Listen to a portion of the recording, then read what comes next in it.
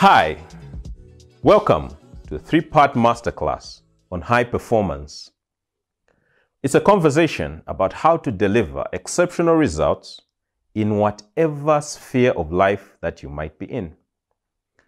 We'll talk about three things that I believe make up high performance. Number one, the culture. What are the elements of a high performance culture? Number two, individuals. High performing individuals. What are their attributes? What qualities do they possess? Number three, management. High performance management. How do you manage in such a way that you're able to consistently sustain the culture and individuals that ultimately deliver the results that you're looking for? High performance. I start with a disclaimer.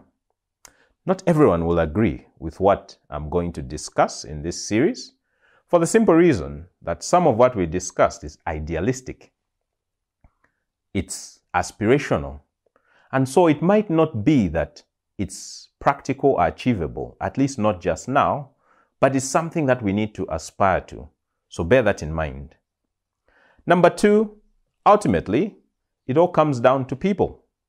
So we could have the best of intentions in terms of driving the right culture or having the right performance management systems.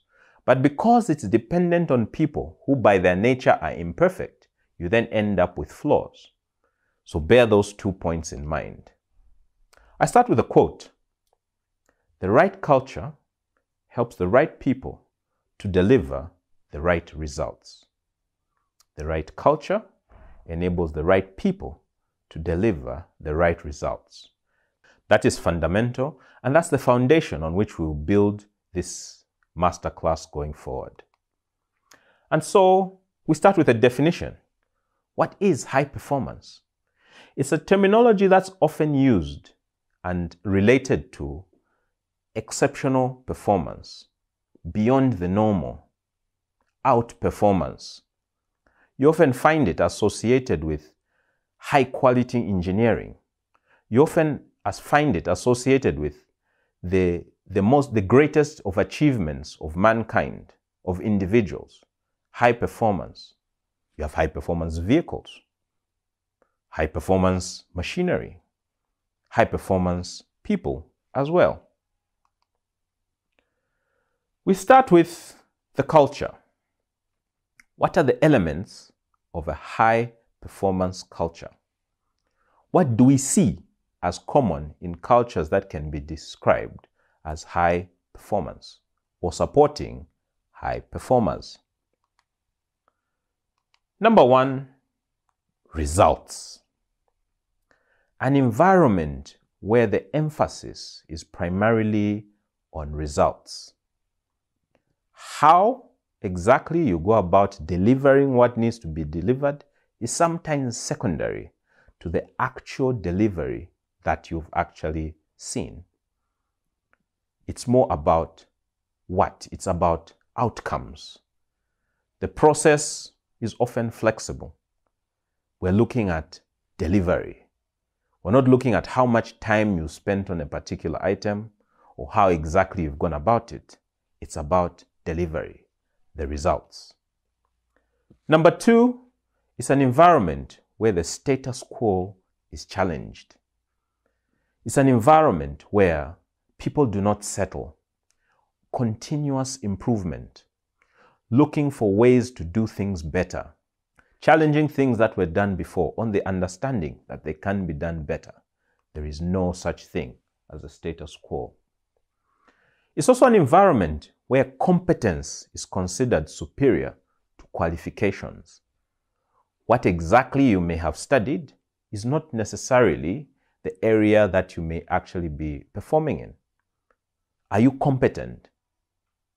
Is the, is the primary question over and above do you have the qualifications, at least on paper. And this is something that we continue to see evolving over time. That you need the people with the right attitude. If they have the right attitude, then what exactly they've studied is neither here nor there. So, competence over qualifications. Fourth, responsibility first.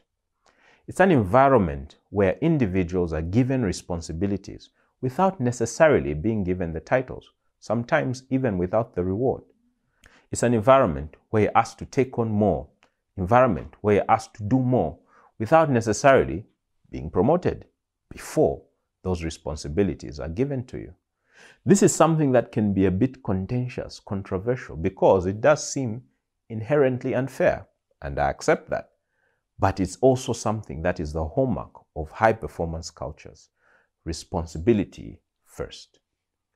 These are underpinned by an environment that is very open, an environment where people are allowed to express themselves freely, an environment where people are open to criticism, an environment where people are encouraged to share what they think about a particular issue with absolutely no concern about any negative repercussions. Open. It's also an environment where we see shorter managerial spans. So accessibility to top management is something that is easily achieved. The most junior in the organization can easily access even the most senior. The most junior in the organization can have a confrontation, can have an engagement with the most senior in the organization, whether it's about various ideas or various thoughts that they have, all of which drive a particular culture. Remember, it's an environment where the results are the primary focus, and so it's neither here nor there whose idea it is. Let's just get it done and get it done well. It's also an environment that evolves. It continues to evolve. Evolution is a key hallmark of high performance culture continuing to change, to adapt, to look at the opportunities that are there and to gear the organization or the individuals to, to that particular uh, opportunity that, that has been seen is a fundamental hallmark of high performance culture. So that's high performance culture as the first part of this masterclass. Where are you? What do you see in terms of your own organization? Where do you think you can potentially do better? you start to address some of these issues and you start to see an environment where you can even attract the right type of people and begin to grow from there into a high performing organization. Thank you very much.